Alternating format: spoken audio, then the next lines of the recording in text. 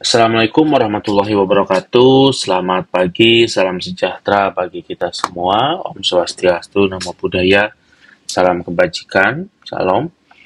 Alhamdulillah, amin. Pada kesempatan pagi hari ini kita bisa bertemu untuk merancang proyek penguatan profil pelajar Pancasila, walaupun memang tidak secara langsung dalam bentuk uh, rekaman.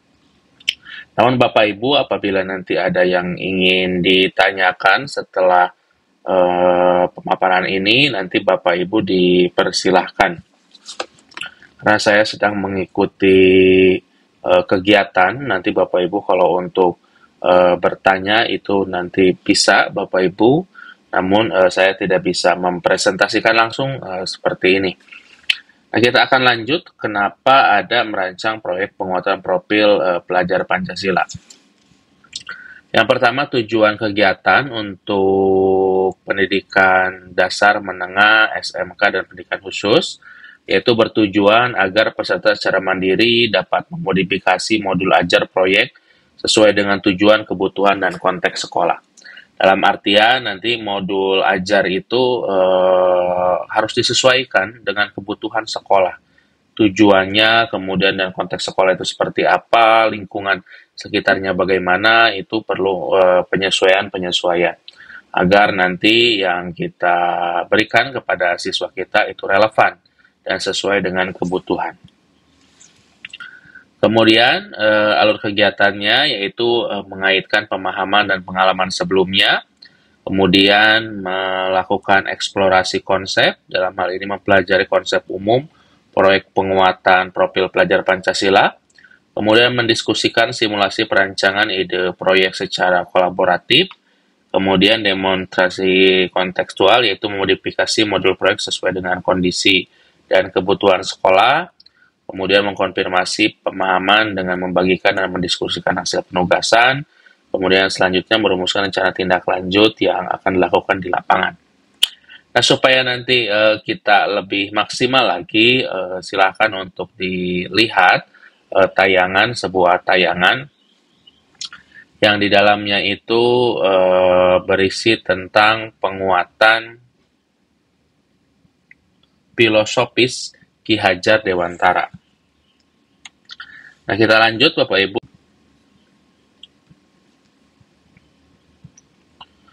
Assalamualaikum warahmatullahi wabarakatuh. Selamat pagi, salam sejahtera bagi kita semua. Om Swastiastu, Namo Buddhaya, salam kebajikan, salam. Alhamdulillah, amin. Pada kesempatan pagi hari ini kita bisa bertemu untuk merancang proyek penguatan profil pelajar Pancasila walaupun memang tidak secara langsung dalam bentuk uh, rekaman. Namun Bapak Ibu apabila nanti ada yang ingin ditanyakan setelah uh, pemaparan ini nanti Bapak Ibu dipersilahkan. Karena saya sedang mengikuti uh, kegiatan nanti Bapak Ibu kalau untuk uh, bertanya itu nanti bisa Bapak Ibu namun saya tidak bisa mempresentasikan langsung seperti ini. Nah, kita akan lanjut kenapa ada merancang proyek penguatan profil uh, pelajar Pancasila. Yang pertama tujuan kegiatan untuk pendidikan dasar menengah, SMK dan pendidikan khusus yaitu bertujuan agar peserta secara mandiri dapat memodifikasi modul ajar proyek sesuai dengan tujuan, kebutuhan dan konteks sekolah. Dalam artian nanti modul ajar itu uh, harus disesuaikan dengan kebutuhan sekolah. Tujuannya, kemudian dan konteks sekolah itu seperti apa, lingkungan sekitarnya bagaimana, itu perlu uh, penyesuaian-penyesuaian. Agar nanti yang kita berikan kepada siswa kita itu relevan dan sesuai dengan kebutuhan. Kemudian uh, alur kegiatannya yaitu uh, mengaitkan pemahaman dan pengalaman sebelumnya, kemudian melakukan eksplorasi konsep, dalam hal ini mempelajari konsep umum proyek penguatan profil pelajar Pancasila, kemudian mendiskusikan simulasi perancangan ide proyek secara kolaboratif, kemudian demonstrasi kontekstual yaitu memodifikasi modul proyek sesuai dengan kondisi dan kebutuhan sekolah, kemudian mengkonfirmasi pemahaman dengan membagikan dan mendiskusikan hasil penugasan, kemudian selanjutnya merumuskan rencana tindak lanjut yang akan dilakukan di lapangan. Nah, supaya nanti uh, kita lebih maksimal lagi, uh, silakan untuk dilihat uh, tayangan sebuah tayangan yang di dalamnya itu uh, berisi tentang penguatan filosofis Ki Hajar Dewantara. Nah, kita lanjut Bapak Ibu eksplorasi konsep. Nah, profil pelajar Pancasila, profil pelajar Pancasila merupakan pelajar sepanjang hayat yang kompeten dan memiliki karakter sesuai dengan nilai-nilai Pancasila. Pernyataan ini memuat tiga kata kunci. Yang pertama, pelajar sepanjang hayat, dalam artian dia menjadikan uh, proses hidupnya itu sebagai sebuah pembelajaran. Ya, dalam artian tidak pernah berhenti untuk belajar, jadi pelajar sepanjang hayat, kemudian kompeten, jadi memiliki kemampuan, yang sesuai dengan nilai-nilai Pancasila. Dan yang ketiganya itu nilai-nilai Pancasila itu e, ketiganya tidak bisa dipisahkan. Hal ini menunjukkan adanya paduan antara penguatan identitas khas bangsa Indonesia yaitu Pancasila karena perlu dipahami Bapak Ibu bahwa Pancasila itu uh, adalah sebuah hal yang dasar. Pancasila itu adalah pancalima, sila itu dasar. Seperti itu. Uh, sebenarnya Bung Karno itu memilih kata sila bukan dharma. Dharma juga itu adalah dasar, tetapi sila itu adalah dasarnya dari dharma gitu seperti itu. Jadi sangat mendalam sekali. Dan Pancasila ini adalah khas Indonesia karena digali dari uh, karakteristik dari orang-orang Indonesia. Kemudian, Pancasila juga sebagai rujukan karakter pelajar Indonesia dengan kompetensi yang sesuai dengan kebutuhan pengembangan sumber daya manusia Indonesia dalam konteks uh, perkembangan abad 21. Dalam artian nilai-nilai Pancasila itu akan selalu eksis walaupun dengan adanya perubahan zaman. Karena sifat nilai-nilai Pancasila itu adalah lentur dalam artian mampu menyesuaikan dengan perkembangan zaman. Profil pelajar Pancasila ini juga merupakan bentuk penerjemahan tujuan pendidikan nasional jadi dalam pendidikan nasional itu salah satunya ingin menjadikan siswa itu cerdas, terampil, kreatif, inovatif gitu. Itu adalah merupakan perwujudan dari profil pelajar Pancasila juga. Uh, hal tersebut sebagai referensi utama yang mengarahkan kebijakan pendidikan termasuk menjadi acuan untuk para pendidik dalam membangun karakter serta kompetensi peserta didik. Nah, di sini ada dua hal yang ditekankan yaitu karakter dan kompetensi dalam artian kedua-duanya itu sangat penting dan tidak dipis bisa dipisahkan. Kompetensi yang bagus itu tidak akan menjadi maksimal apabila tidak ditopang oleh karakter yang luhur gitu seperti itu, Bapak Ibu. Kemudian selanjutnya di sini ada enam dimensi untuk profil pelajar Pancasila. Yang pertama itu beriman, bertakwa kepada Tuhan Yang Maha Esa dan berakhlak mulia. Nah, ini beriman, bertakwa kepada Tuhan Yang Maha Esa dan berakhlak mulia. Yang kedua harus mandiri, kemudian harus bisa bergotong royong, harus ada kebinekaan global, kemudian harus memiliki penalaran yang kritis, dan berpikir kreatif. Nah, ini ke enam dimensi ini harus kita tanamkan ke dalam diri siswa agar dapat dicapai oleh mereka. Sekali lagi, yang pertama beriman dan bertawal kepada Tuhan Yang Maha Esa dan berakhlak mulia kemudian mandiri, bergotong royong, berbinekaan global, berenal kritis, dan kreatif. Kenam dimensi tersebut perlu dilihat secara utuh sebagai satu kesatuan, agar setiap individu dapat menjadi pelajar sepanjang hayat yang kompeten, karakter, dan perilaku sesuai dengan nilai-nilai Pancasila. Dalam era setiap uh, dimensi profil pelajar Pancasila terhadap elemen, di dalamnya uh, sebagian besar elemen tersebut uh, ada beberapa subelemen. Dan setiap subelemen terdapat rangkaian alur pengembangan kompetensi setiap fase uh, pembelajaran. Kemudian uh, tautan dokumennya Bapak Ibu silahkan bisa dilihat di sini. Nah, jadi di sini itu nanti uh, apa namanya tuh ada keputusan Kepala Badan Standar Kurikulum dan Asesmen Pendidikan Kementerian Pendidikan tentang dimensi, elemen, dan sub-elemen profil pelajar Pancasila. Nah, di sini ada nanti kita akan lihat dimensinya apa.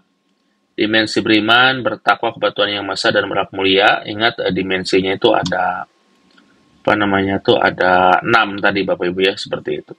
Nah, kemudian tiap dimensi ini memiliki elemen-elemen. Nah, elemen akhlak beragama. Jadi di sini ada Bapak Ibu ya. Seperti itu elemen akhlak pribadi, elemen akhlak kepada manusia. Nah, ini ada elemen-elemennya gitu Bapak Ibu. Semuanya diatur di sini di tautan tersebut. Nah, kemudian kita lanjut.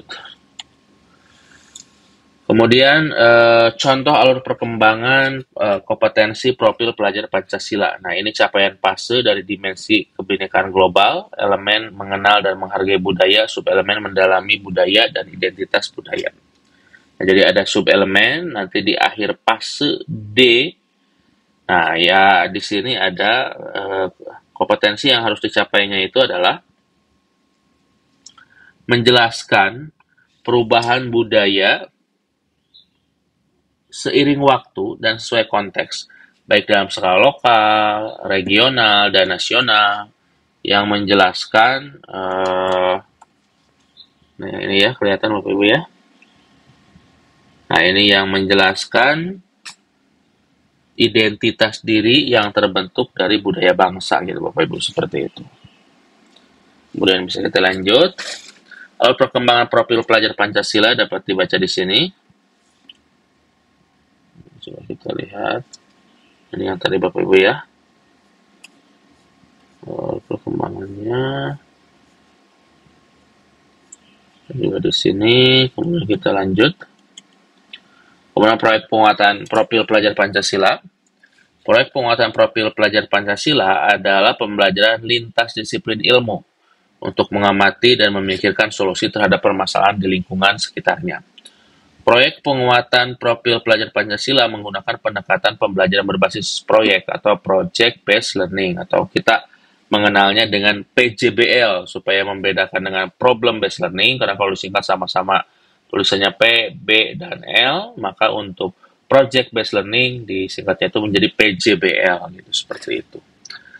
Hal ini yang berbeda dengan pembelajaran basis proyek dalam program intrakurikuler di dalam kelas. Nah, namun proyek penguatan profil pelajar Pancasila memberikan kesempatan bagi peserta didik untuk belajar dalam situasi tidak formal, Bapak Ibu ya. Struktur belajar yang lebih fleksibel, kegiatan belajar yang lebih interaktif, dan juga terlibat langsung dalam lingkungan sekitar untuk menguatkan berbagai kompetensi dalam profil pelajar Pancasila. Nah, kemudian di sini ada proyek penguatan profil pelajar Pancasila. Berdasarkan pengalaman di slide sebelumnya, kita dapat menyimpulkan beberapa hal. Nah, pro, uh, proyek penguatan profil pelajar Pancasila di antaranya. Yang pertama bersifat lintas disiplin ilmu. Jadi uh, bisa perpaduan antar berbagai mata pelajaran, Bapak Ibu seperti itu. Contohnya tentang kebinekaan global, itu bisa berbagai macam pelajaran yang kita hubungkan. Ada agama, kemudian ada IPS bisa kita masukkan, kemudian bisa juga di sana IPA yang berkaitan dengan fenomena alam bisa dimasukkan gitu seperti itu. Kemudian ada PPKN juga bisa dimasukkan seperti itu. Kemudian menggunakan eh, pendekatan pembelajaran berbasis proyek, jadi proyek-proyeknya memang harus menonjol Bapak Ibu. Memiliki perbedaan dengan pembelajaran basis proyek di program intrakurikuler dalam hal fleksibilitas struktur pembelajaran jadi ini struktur pembelajarannya lebih fleksibel dibandingkan dengan di kelas gitu seperti itu Bapak Ibu. Dalam artian nanti e, karena lintas disiplin ilmu ini jadi batasan batasan-batasan disiplin ilmu itu tidak begitu kentara gitu seperti itu. Bertujuan untuk menguatkan berbagai kompetensi dalam profil pelajar Pancasila bukan untuk mencapai CP bidang studi. Jadi tadi sudah ada di PDF-nya uh, untuk tingkat SMP itu harus sudah nyampe mana di fase D kemudian elemen-elemen apa saja yang harus ada, kemudian bagaimana cara pencapaiannya. Kemudian proyek penguatan profil pelajar Pancasila, hal-hal yang perlu diketahui mengenai proyek eh, penguatan profil pelajar Pancasila yaitu yang pertama dilaksanakan setiap tahun di semua tingkatan kelas. Kemudian total alokasi waktu eh, proyek di jenjang dasar menengah di kesudahan kejuruan adalah 20 sampai 30 persen dari keseluruhan total CP dalam satu tahun. Nah, gitu Bapak Ibu ya. Jadi untuk uh, jenjang SMP juga sama 20 30 persen.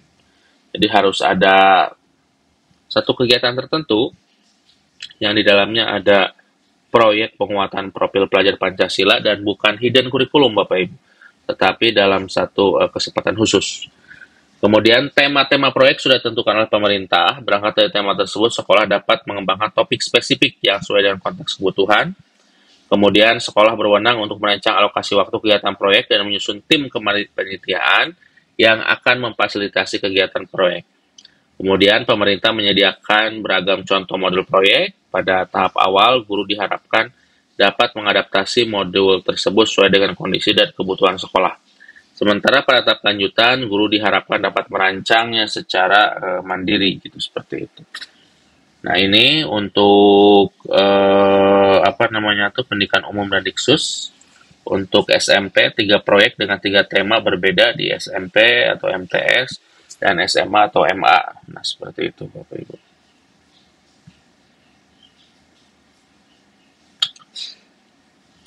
Kemudian selanjutnya tema-tema dasmen, diksus, dan kejuruan.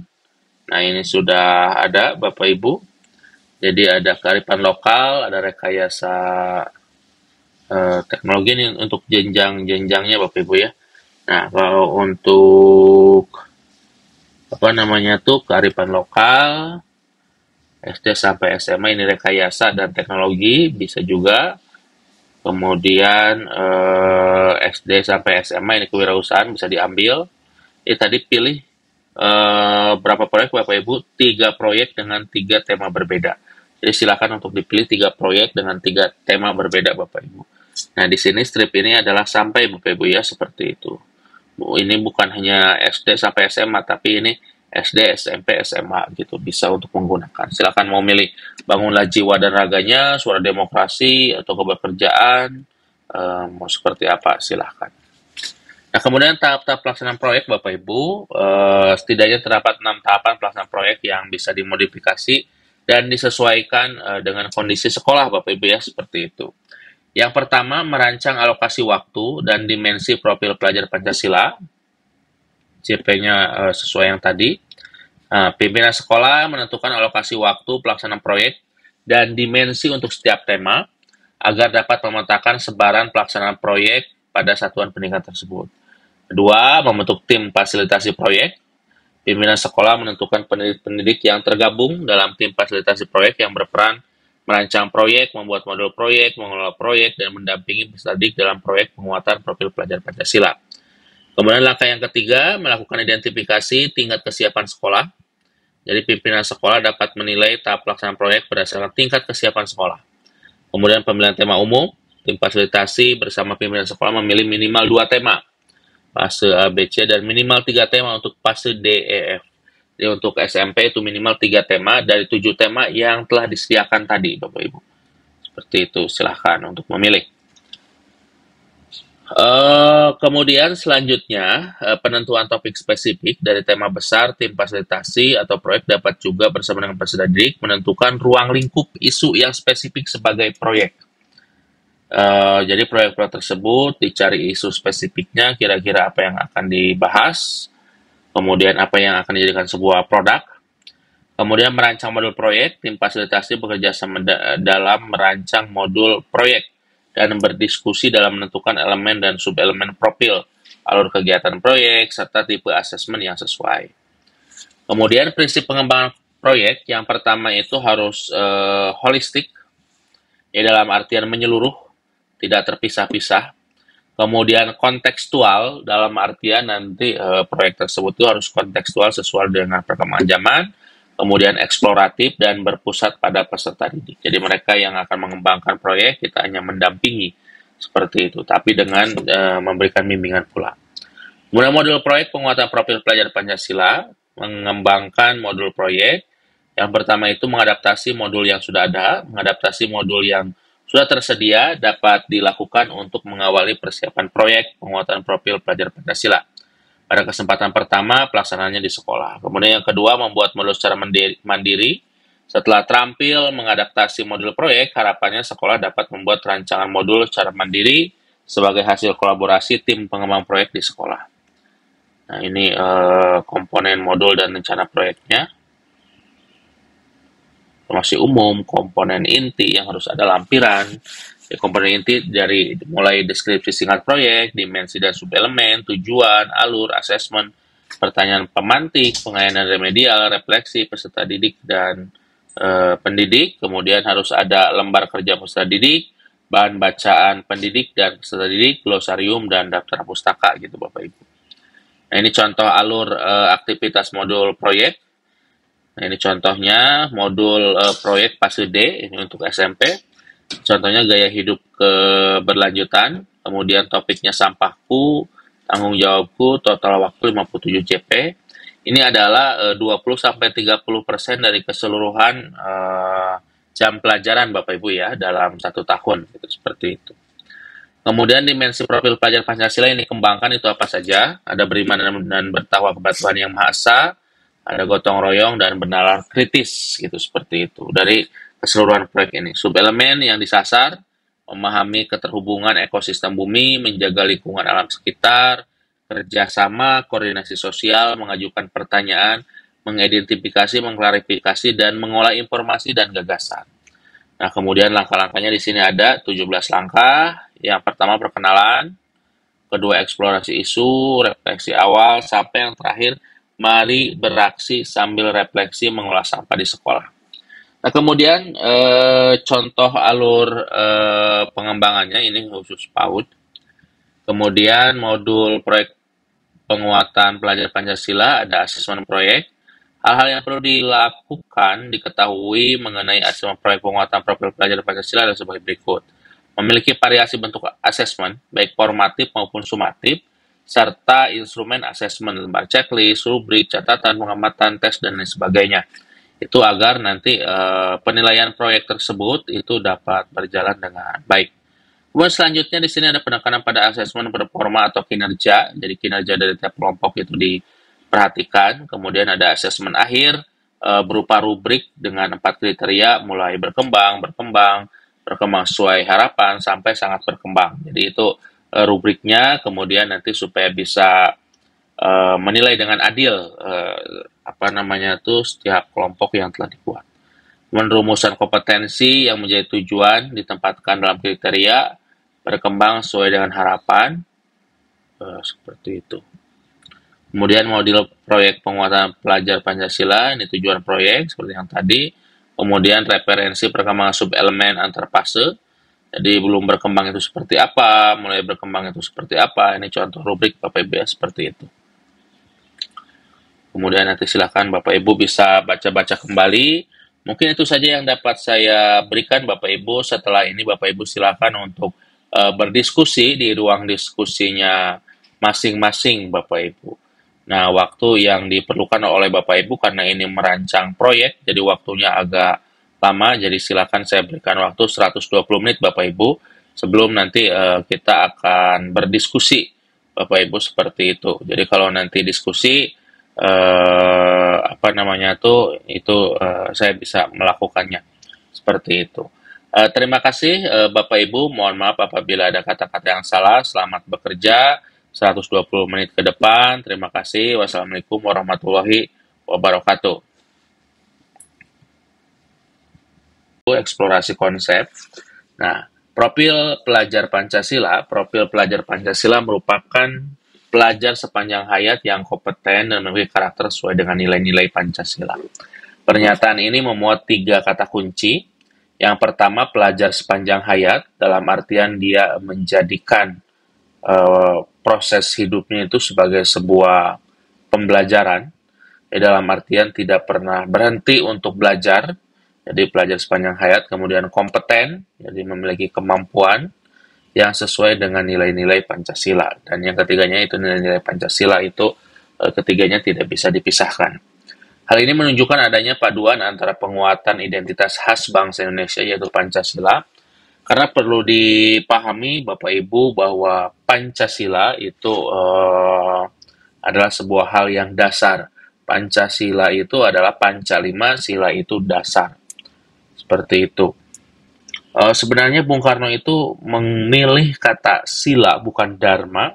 Dharma juga itu adalah dasar, tetapi sila itu adalah dasarnya dari dharma gitu seperti itu. Jadi sangat mendalam sekali. Dan Pancasila ini adalah khas Indonesia karena digali dari uh, karakteristik dari orang-orang Indonesia. Kemudian, Pancasila juga sebagai rujukan karakter pelajar Indonesia dengan kompetensi yang sesuai dengan kebutuhan pengembangan sumber daya manusia Indonesia dalam konteks uh, perkembangan abad 21. Dalam artian nilai-nilai Pancasila itu akan selalu eksis walaupun dengan adanya perubahan zaman. Karena sifat nilai-nilai Pancasila itu adalah lentur dalam artian mampu menyesuaikan dengan perkembangan zaman. Profil pelajar Pancasila ini juga merupakan bentuk penerjemahan tujuan pendidikan nasional jadi dalam pendidikan nasional itu salah satunya ingin menjadikan siswa itu cerdas, terampil, kreatif, inovatif gitu. Itu adalah merupakan perwujudan dari profil pelajar Pancasila juga. Uh, hal tersebut sebagai referensi utama yang mengarahkan kebijakan pendidikan termasuk menjadi acuan untuk para pendidik dalam membangun karakter serta kompetensi peserta didik. Nah, di sini ada dua hal yang ditekankan yaitu karakter dan kompetensi dalam artian kedua-duanya itu sangat penting dan tidak dipis bisa dipisahkan. Kompetensi yang bagus itu tidak akan menjadi maksimal apabila tidak ditopang oleh karakter yang luhur gitu seperti itu, Bapak Ibu.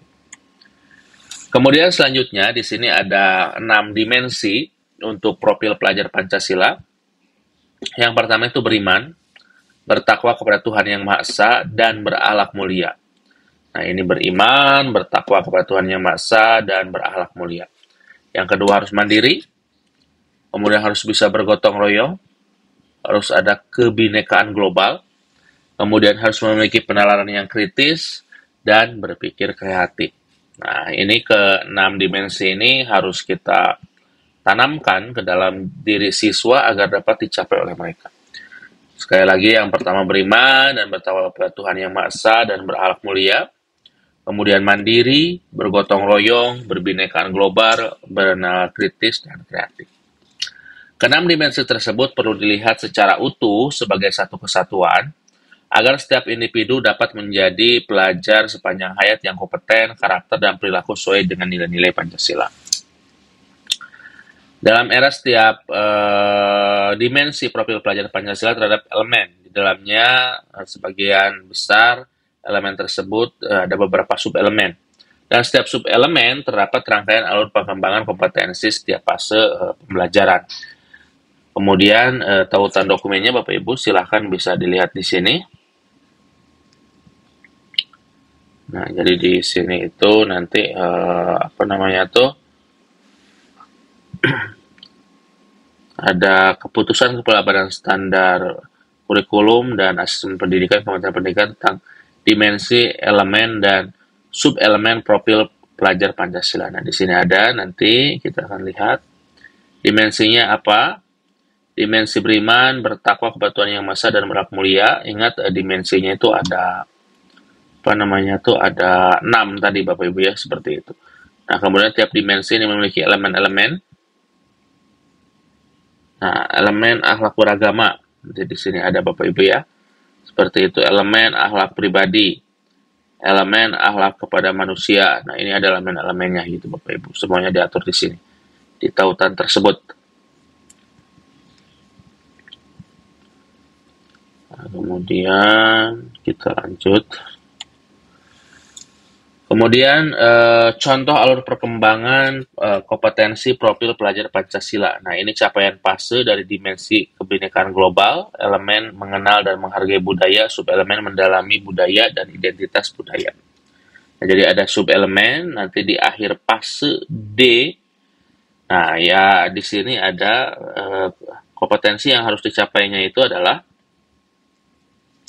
menjelaskan perubahan budaya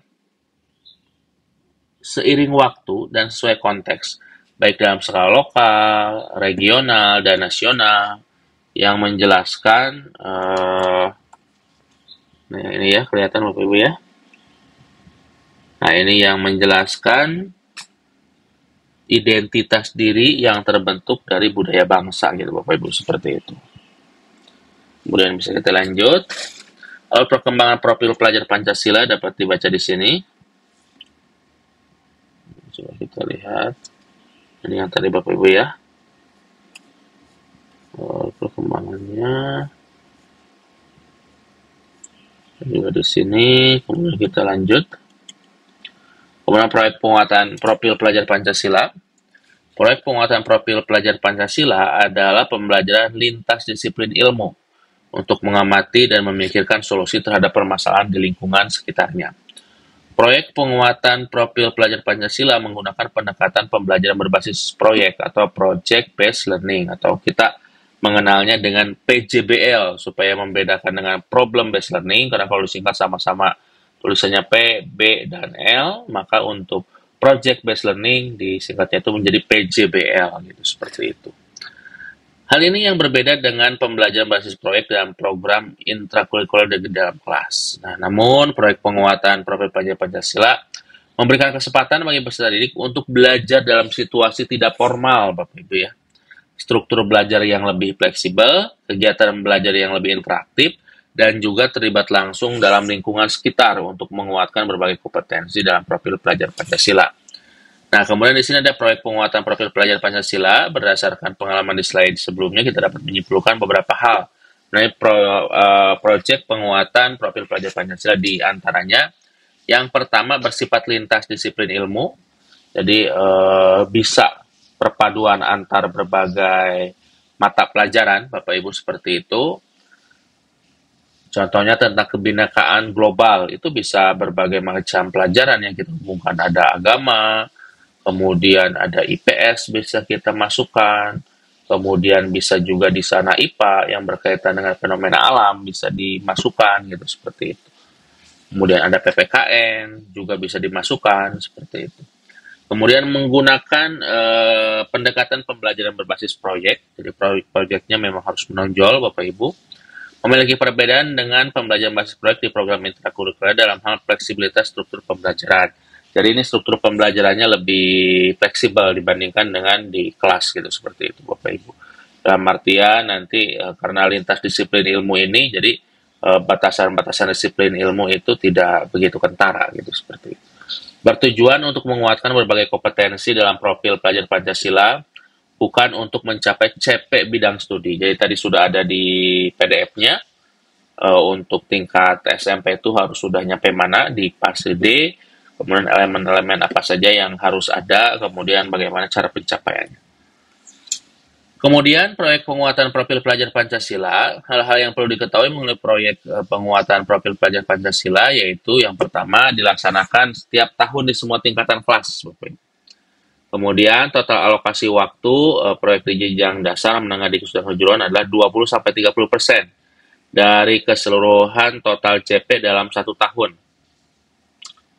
Nah, gitu Bapak Ibu ya. Jadi untuk uh, jenjang SMP juga sama 20 sampai 30 persen.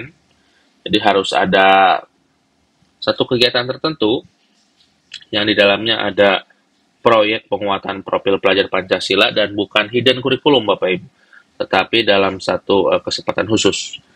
Kemudian tema-tema proyek sudah ditentukan oleh pemerintah. Berangkat dari tema tersebut, sekolah dapat mengembangkan topik spesifik yang sesuai dengan konteks kebutuhan. Kemudian sekolah berwenang untuk merancang alokasi waktu kegiatan proyek dan menyusun tim kepanitiaan yang akan memfasilitasi kegiatan proyek. Kemudian pemerintah menyediakan beragam contoh modul proyek. Pada tahap awal, guru diharapkan dapat mengadaptasi modul tersebut sesuai dengan kondisi dan kebutuhan sekolah. Sementara pada tahap lanjutan, guru diharapkan dapat merancangnya secara uh, mandiri, gitu seperti itu. Nah ini untuk uh, apa namanya tuh pendidikan umum dan diksus untuk SMP, tiga proyek dengan tiga tema berbeda di SMP atau MTS dan SMA atau MA. Nah, seperti itu Bapak Ibu.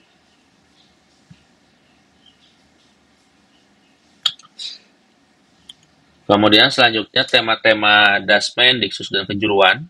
Nah, ini sudah ada Bapak Ibu. Jadi ada kearifan lokal, ada rekayasa eh, teknologi ini untuk jenjang-jenjangnya Bapak Ibu ya. Nah, kalau untuk apa namanya tuh kearifan lokal SD sampai SMA ini rekayasa dan teknologi bisa juga. Kemudian eh, SD sampai SMA ini kewirausahaan bisa diambil.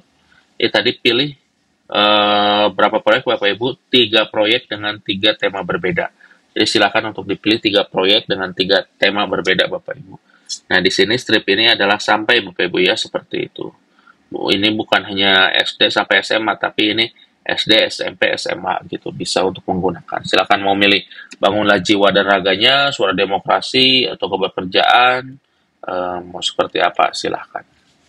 Nah, kemudian tahap-tahap pelaksanaan proyek Bapak Ibu, uh, setidaknya terdapat enam tahapan pelaksanaan proyek yang bisa dimodifikasi dan disesuaikan uh, dengan kondisi sekolah Bapak Ibu ya, seperti itu. Yang pertama, merancang alokasi waktu dan dimensi profil pelajar Pancasila. CP-nya uh, sesuai yang tadi. Uh, pimpinan sekolah menentukan alokasi waktu pelaksanaan proyek dan dimensi untuk setiap tema agar dapat memetakan sebaran pelaksanaan proyek pada satuan pendidikan tersebut.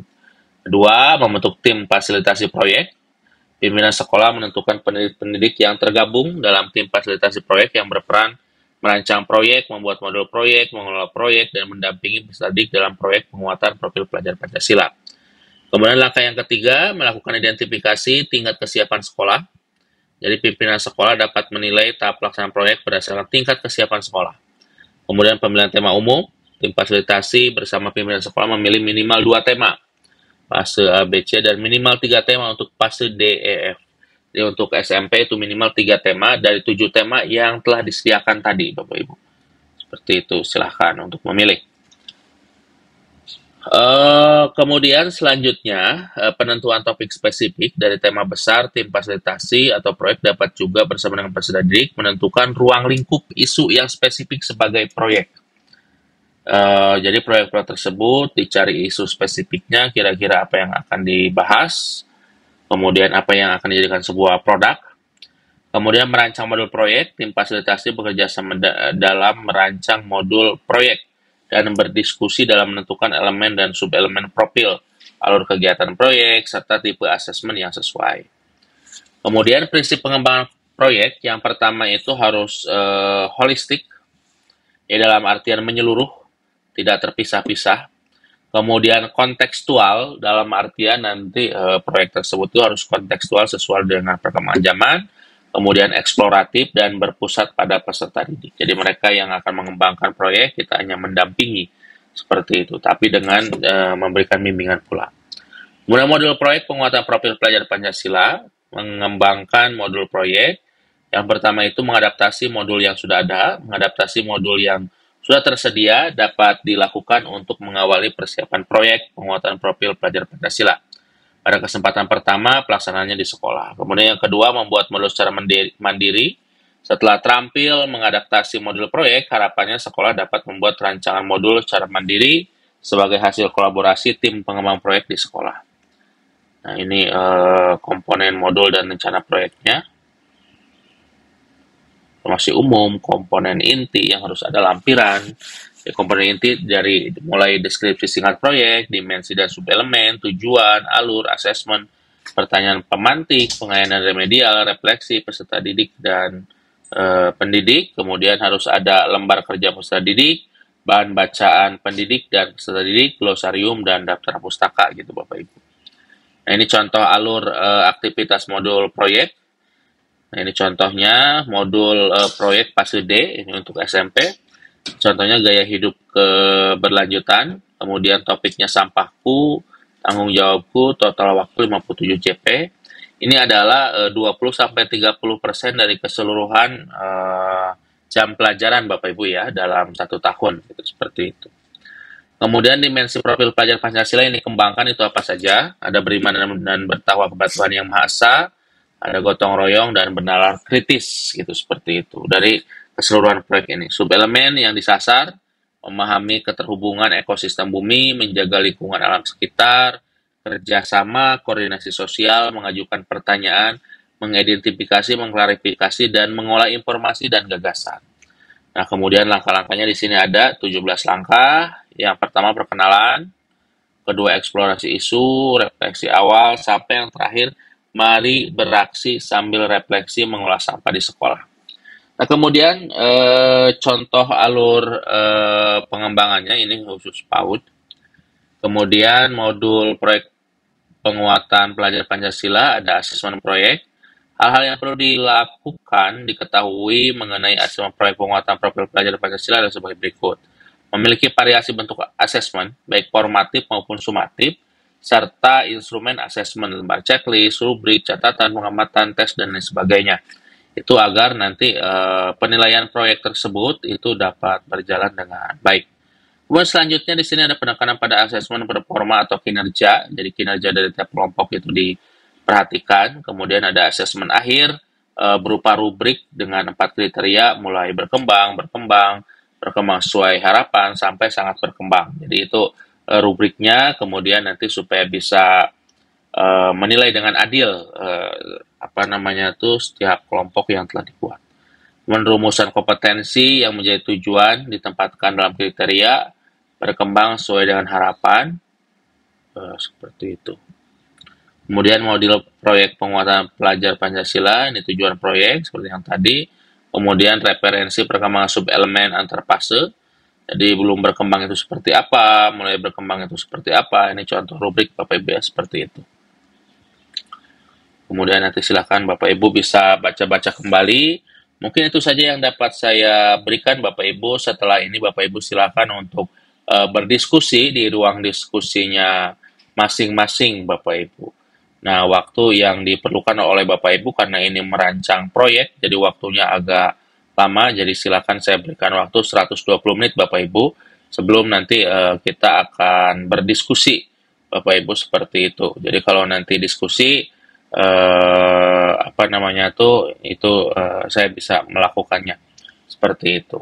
Uh, terima kasih uh, Bapak Ibu, mohon maaf apabila ada kata-kata yang salah. Selamat bekerja 120 menit ke depan.